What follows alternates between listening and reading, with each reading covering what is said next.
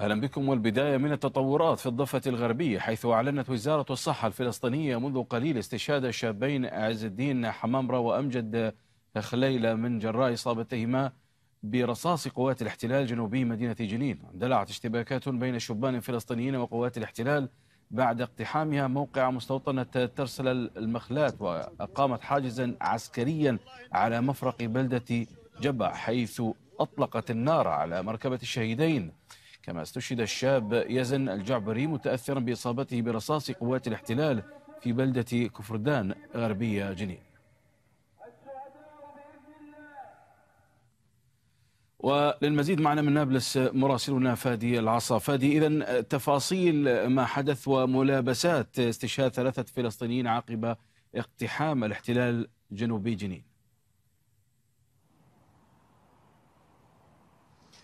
صرمد جيش الاحتلال. يبدو أنه طارد وفق المعلومات المحلية المتوفرة مركبة كان يستقلها الشابين عز الدين حمامرة. 23 عاما وأمجد خليلية 22 عاما أثناء تواجدهما في مركبة قرب بلدتهما جبع جنوب محافظة جنين شمال الضفة الغربية المحتلة.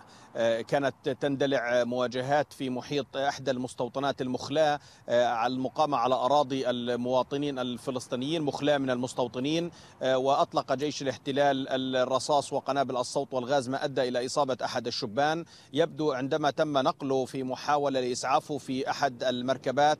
قام جيش الاحتلال مباشرة بمطاردة مركبة من المركبات. زعم أن أنه تعرض لإطلاق نار في المكان وعندما طارد هذه المركبة ووصولها عند منطقة القرية الفندقومية قرب محافظة أو قرب بلدة جبع أطلق الرصاص على المركبة ويبدو أنه قتل الشابين حمامرة وخليلية. وقال جيش الاحتلال في بيان له قبل قليل أنه صادر من هذه المركبة سلاح من نوع ام 16 بعد تفتيش هذه المركبة وترك الشابين ينزفان قبل نقلهما إلى أحد مستشفيات محافظة جنين وإعلان وزارة الصحة بشكل رسمي عن استشهادهما متأثرين بجراحهما أثناء تواجدهما في هذه المركبة.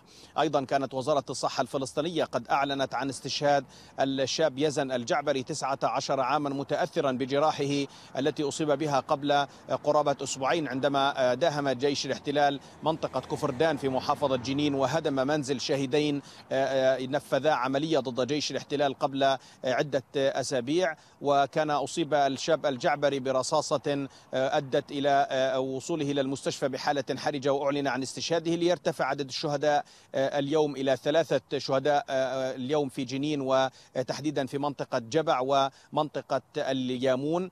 ويرتفع عدد شهداء محافظة جنين منذ بداية هذا الشهر صرمد إلى سبعة شهداء و12 شهيدا منذ بداية العام في أرجاء الضفة الغربية.